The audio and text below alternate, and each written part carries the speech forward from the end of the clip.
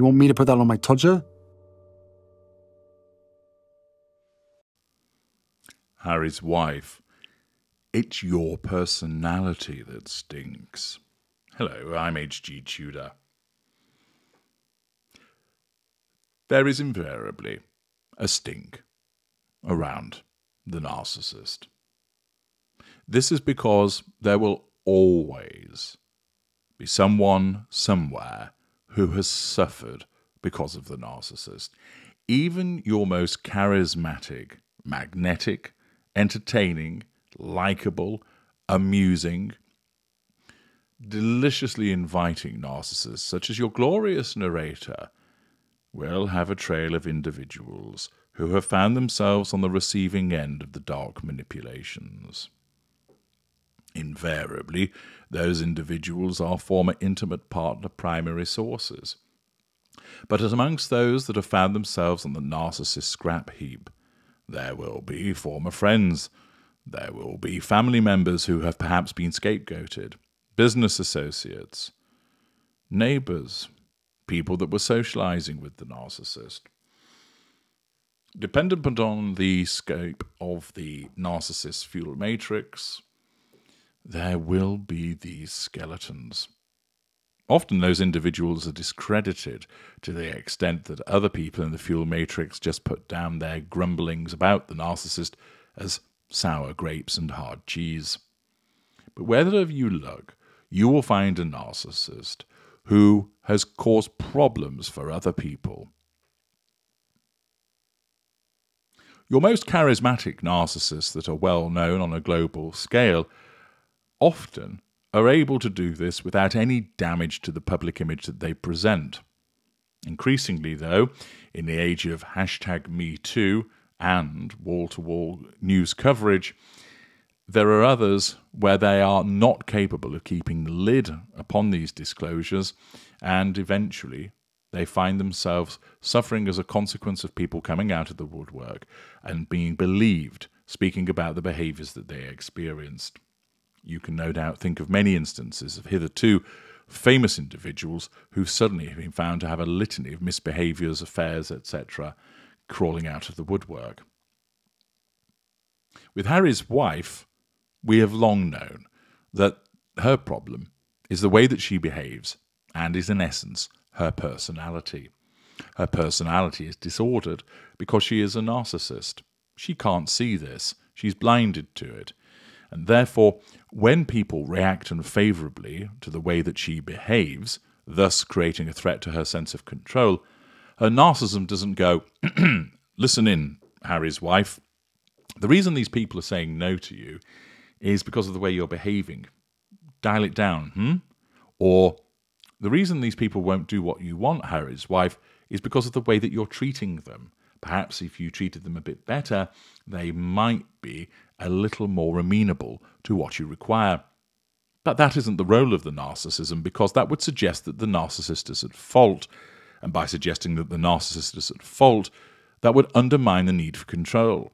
Accordingly, it is that pillar of the narcissistic existence which says, It's not your fault, Harry's wife, it's everybody else. And the reason why they're awful to you is because they're racists. Hitherto, Harry's wife never really played the race card. Of course, we didn't know about her because she didn't come across our radars back then. But once she gained a degree of prominence and she started to flex more often, thus running into problems as people turned around to her and said, We don't do it that way here. No, that's not appropriate. That doesn't fit with conventional protocol. Her narcissism went, Well, that really sucks. Hmm. We'll have to cause her to believe something so that she's able to nullify these threats to control. I know.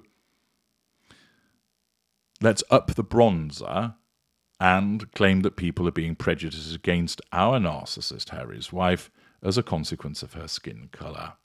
And thus began the slew of allegations, revisions of history, downright lies about her being badly treated because of racism. Now, that isn't to do away with certain limited instances where there were some knuckle draggers that crawled out of the woodwork and used racist terms towards her. There's invariably a handful, but it isn't on the scale that she claimed. For instance, suggesting that the British media had used the N word about her children. It simply did not happen. The allegations about members of the royal family being racist only to suggest, oh, we didn't say they were racist, when it appeared that that line of attack was no longer working. But time and time again, Harry's wife has played the race card. The vast majority of reasonably minded individuals recognize it's nothing to do with that. They don't like her because of the way that she behaves, the lies that she does, the rampant opportunism that she engages in, her failure to deliver on so many things, her nastiness towards other people.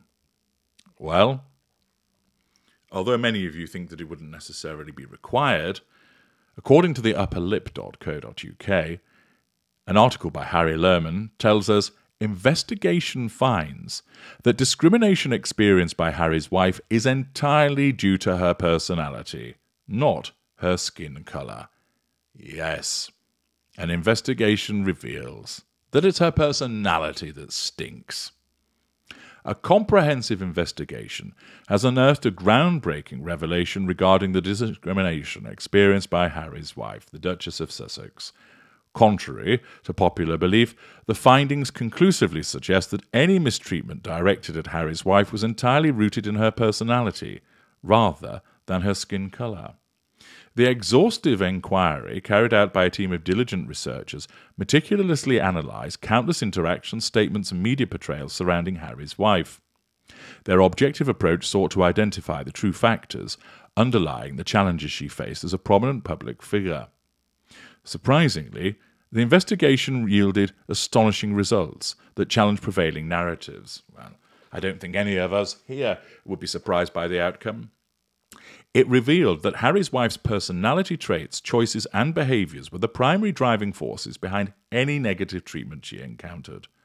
Skin colour, traditionally considered a pivotal factor in cases of discrimination, was deemed inconsequential in this specific instance. While the report acknowledges that some individuals made derogatory remarks targeting Harry's wife's ethnicity, the weight of evidence overwhelmingly pointed towards her personality as the primary catalyst for the negative perception surrounding her. The investigation found that her approach to public life, relationships with the royal family, and interactions with the media had a significant impact on public opinion. Experts involved in the investigation emphasized the importance of evaluating each situation on a case by case basis and cautioned against generalizations. They highlighted that attributing all challenges faced by Harry's wife to racism oversimplifies a complex narrative and undermines the significance of personal agency and individual choices. Naturally, these findings have sparked contentious debates and raised eyebrows across the globe. Supporters of Harry's wife's character have long argued that she faced unwarranted attacks driven by deep rooted prejudice, while skeptics maintain that her actions invited the criticism she received. As the investigation's results challenge prevailing narratives, both sides of the debate find themselves re-evaluating their positions. Supporters grapple with the notion that personality played a significant role, why critics scrutinise the potential impact of implicit biases and broader systemic issues. The report serves as a reminder of the multifaceted nature of discrimination and highlights the importance of comprehensive analysis when examining complex social dynamics. It underscores the need to move beyond simplistic explanations and engage in nuanced conversations that consider the interplay of various factors. While the investigation's conclusions are sure to ignite further discussions, they undoubtedly provide a fresh perspective on the discrimination faced by Harry's wife. Ultimately, it is imperative that society continues to strive for inclusivity, understanding, and fair treatment, irrespective of personality, skin colour, or any other distinguishing characteristic. Thus, the report, which oddly enough isn't named, states that it was the basis of her personality.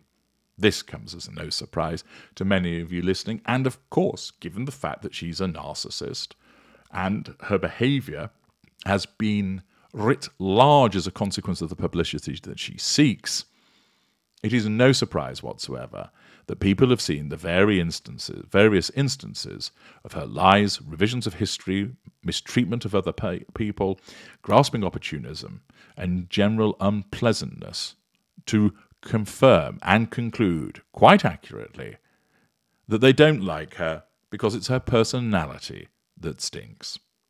I'm H.G. Tudor. Thank you for listening.